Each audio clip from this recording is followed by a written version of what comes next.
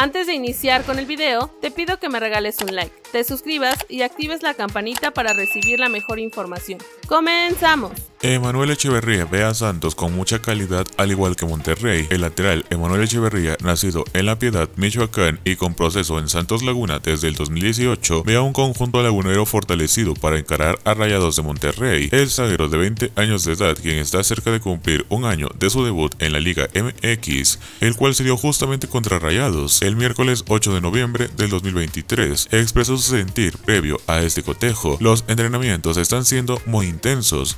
El profesor Nacho Ambriz nos pide que sigamos en la tendencia de la pelota, que sigamos en el esfuerzo del máximo y que dejemos todo en la cancha este fin de semana. Indicó que la victoria ante Necaxa en la jornada anterior le vino en buen momento al equipo. El triunfo cayó muy bien, nos ayudó a tomar aire, pero más que nada la felicidad de haber vuelto a la victoria nos ayudó mucho también en el tema de la confianza. Estoy seguro de que iremos por más. En cuanto al duelo ante Rayados en el Corona, Echeverría, quien ha disputado más de 400 minutos de juego, expuso, siento que va a ser un partido muy difícil porque Rayados tiene muy buenos jugadores, al igual que nosotros. Sin duda será un encuentro muy peleado y la mentalidad para salir avante, eso que resalta del momento que vive el cuadro santista. Tenemos que salir convencidos de sumar con todas las ganas y la actitud del mundo, con el objetivo de pelear por los tres puntos. Por otro lado, Anthony Choco Lozano enciende las alarmas en el Santos Laguna. Anthony, el Choco Lozano, no llegó en las mejores condiciones físicas al Santos Laguna, luego de su participación con la selección de Honduras en la Nations League de CONCACAF. Choco Lozano vio acción en la victoria frente a Trinidad y Tobago, luego frente a Jamaica y aquí se dio el problema físico del atacante que lo tiene en duda para la jornada del fin de semana de la Liga MX. Desde Santos Laguna se informó que el atacante y capitán de Honduras fue sometido a exámenes médicos porque llegó con el problema físico tras el juego ante los Riggy Boys. Santos Laguna no lo pasó bien en las competencias de México, pero ha demostrado una leve mejoría. El Choco Lozano ya marcó un gol en cinco partidos que tiene disputados, y es que el Choco salió de cambio al minuto 72 con la derrota contra Jamaica en el Estadio Nacional Chelato Ucles de Tegucigalpa por la jornada 2 del Grupo B de la Nations League. Santos Laguna recibe este sábado a los Rayados de Monterrey desde las 9 de la noche, hora de Honduras, por la jornada 7 del Torneo Apertura 2024. Los de la comarca se encuentran en el puesto 15 de la tabla de posiciones de la Liga MX. De 18 clubes en disputa, tienen 5 puntos en 6 jornadas. Ya por último, partido de alto riesgo, Club Santos anuncia fuerte despliegue de seguridad contra Rayados. El gobierno de la ciudad de Torreón dio a conocer los protocolos de seguridad, los cuales se van a aplicar para el encuentro entre Santos Laguna frente a los Rayados de Monterrey de la Liga MX en las acciones de la jornada 7 del presente torneo Apertura 2024, de acuerdo a la información de Natalia Fernández, secretaria del Ayuntamiento de Torreón en conferencia de prensa, se tendrá un fuerte despliegue de seguridad en este encuentro en el Estadio Corona, al considerarse un partido de alto riesgo por la rivalidad entre guerreros y rayados. Hicimos un protocolo suficiente para dar seguridad en este partido catalogado de alto riesgo, con el antecedente ya conocido y que se sigue investigando. A partir de filtros en varios puntos, no se permitirá que personas alcoholizadas o sin boleto avancen rumbo al Estadio Corona. Natalia Fernández considera un partido de alto riesgo tras los lamentables hechos que se vivieron en las últimas visitas a Rayados de